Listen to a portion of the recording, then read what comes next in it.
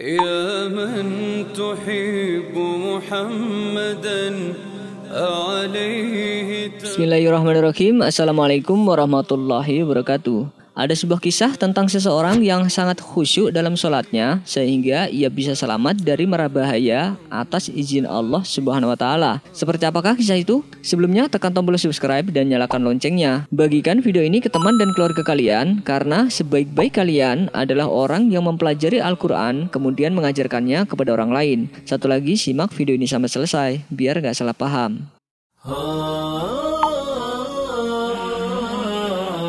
Imam Az-Zahabi dalam kitabnya Syiar A'lam Nubala menceritakan sebuah kisah yang mengagumkan dan perlu dijadikan renungan untuk kita semua. Dalam kisahnya, ia menceritakan ada sekelompok orang safar yang sedang beristirahat di sebuah lembah yang dikelilingi hutan. Di tengah keheningan malam itu, ada seseorang yang sedang melaksanakan sholat. Seseorang ini begitu khusyuk melaksanakan ibadah, sampai-sampai nyamuk pun tidak menjadi penghalang dalam melaksanakan sholat tersebut. Namun tak lama kemudian, orang-orang yang sedang beristirahat dikejutkan dengan kedatangan singa yang mengaum dan berjalan menuju tempat peristirahatan mereka. Melihat hal itu, semua orang panik dan mencoba menyelamatkan diri dengan memanjat pohon. Namun seseorang yang sedang sholat itu malah tetap tenang dan melanjutkan sholatnya. Saat melihat itu, anggota kelompok lain pun sangat tegang karena si singa berjalan mendekati orang yang sedang sholat tersebut. Anehnya, singa yang matanya menyorot tajam itu tidak langsung menerkamnya. Justru ia berjalan mengelilingi orang tersebut dan kemudian malah pergi meninggalkannya begitu saja. Karena singa itu benar-benar pergi, barulah teman yang lain menghampiri orang tersebut untuk memastikan ia baik-baik saja. Melihat hal itu, Teman-temannya bertanya mengapa dia tidak menyelamatkan diri padahal singa itu hampir saja memakan dirinya. Namun jawaban pria ini sangat mengejutkan. Ia menjawab, Aku malu bahwa aku berdiri di hadapan Allah Subhanahu wa taala, tapi aku malah takut kepada salah satu makhluknya. Kisah ini membuktikan bahwa Allah Subhanahu wa taala menjadikan sholat sebagai media untuk menolong hambanya. Seperti dalam surat Al-Baqarah yang berbunyi, Jadikanlah sabar dan sholat sebagai penolongmu, dan sesungguhnya yang demikian itu sungguh berat, kecuali bagi orang-orang yang khusyuk. Quran Surat Al-Baqarah ayat 45 Kisah orang tersebut benar-benar jadi pelajaran untuk kita. Ia tetap berada dalam sholatnya meski singa datang mendekatinya. Lalu bagaimana dengan kita? Terkadang saat sholat kita membaca Al-Quran, tapi pikiran kita malah mengingat hal lain. Terkadang seekor nyamuk yang menggigit kita saat sedang sholat membuat konsentrasi jadi buyar, apalagi seekor singa. Sebagai sesama muslim, marilah kita merenungi kisah ini. Betapa masih jauhnya kita khusyuk dalam sholat dan suka buru-buru. Dari Anas bin Malik radhiyallahu anhu, Rasulullah shallallahu wasallam bersabda, "Itulah sholatnya orang munafik, duduk santai sambil lihat-lihat matahari, hingga ketika matahari telah berada di antara dua tanduk setan atau menjelang terbenam, dia baru mulai sholat dengan gerakan cepat seperti mematuk empat kali, tidak mengingat Allah dalam sholatnya kecuali sedikit." Hadis riwayat Muslim dan Ahmad. Semoga hadis dan kisah ini bisa mengingatkan kita agar lebih khusyuk dalam melaksanakan ibadah. Amin ya rabbal alamin. Wallahu a'lam bishawab. Wassalamualaikum warahmatullahi wabarakatuh. Sebelum beranjak dari video ini, mungkin video sebelumnya juga menarik untuk dilihat nih.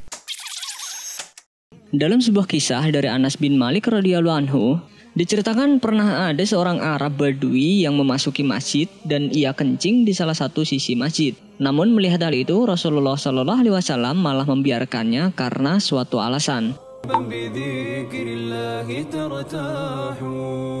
Arab Badui merupakan pengembara asli Arab. Biasanya mereka memiliki perawakan yang khas yaitu bertubuh tinggi, hidung mancung, dan mempertahankan budaya dan cara hidup mengembara. Orang Arab Badui dikenal sangat jauh dari ilmu agama alias jahil.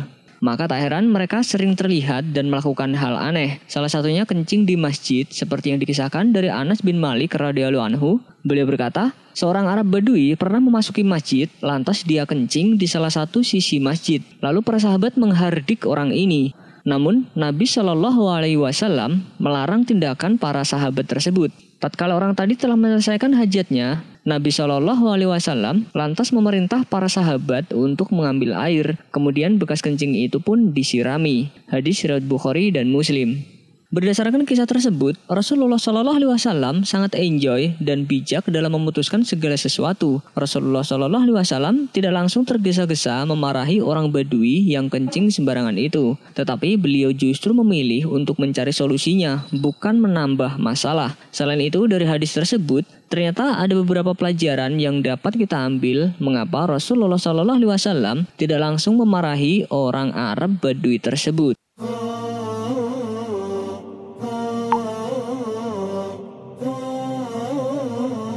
Pertama, hadis ini menunjukkan bahwa air kencing itu najis. Karena Rasulullah Shallallahu Alaihi Wasallam memerintahkan para sahabat untuk membersihkan lantai masjid yang terkena kencing tadi. Oleh karena itu, kencing dan kotoran yang keluar dari dalam tubuh manusia adalah najis. Selain itu, wajibnya membersihkan lantai masjid dari najis. Karena Rasulullah Shallallahu Alaihi Wasallam memerintahkan para sahabat untuk menyiramkan air pada najis tersebut. Kedua, Rasulullah Shallallahu Alaihi Wasallam melarang para sahabat untuk menghardik Arab Badui tersebut karena ada bahaya yang ditimbulkan di balik itu. Bahayanya, Arab Badui ini sedang kencing dan dihentikan seketika. Tentu akan membahayakan kesehatan dirinya. Bahaya lainnya adalah aurat orang ini bisa terbuka karena kaget sehingga berbalik. Kemudian para sahabat kemungkinan bisa melihat auratnya. Ditambah lagi apabila dilarang dan diusir langsung, pasti ia akan terbirit-birit lari dengan terkencing-kencing yang bercacaran dan najis pun malah merembet ke mana-mana.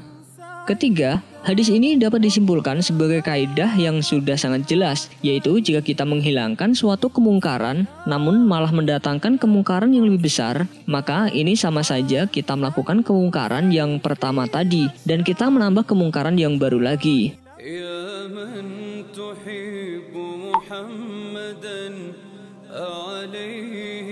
seperti halnya Rasulullah Shallallahu Alaihi Wasallam melarang orang Badui ini, beliau tidak langsung memarahi, namun menjelaskan kepada orang Badui bahwa kencing di masjid dilarang karena masjid adalah tempat yang tidak diperbolehkan terdapat kotoran dan najis. Sehingga dengan demikian orang Badui yang sebelumnya belum tahu akhirnya menjadi tahu.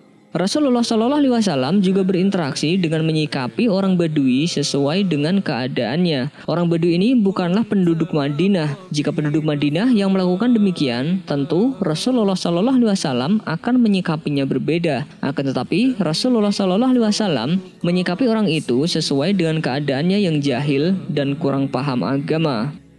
Dan nasihat Rasulullah Shallallahu Alaihi Wasallam kepada para sahabatnya di dalam hadis tersebut adalah agar mereka dan kita semua sebagai umatnya tidak mempersulit diri, tetapi hendaknya mereka mempermudah, khususnya ketika berkaitan dengan orang lain. Dengan demikian, agama itu bukan mempersulit, tetapi mempermudah. Wassalamualaikum warahmatullahi wabarakatuh.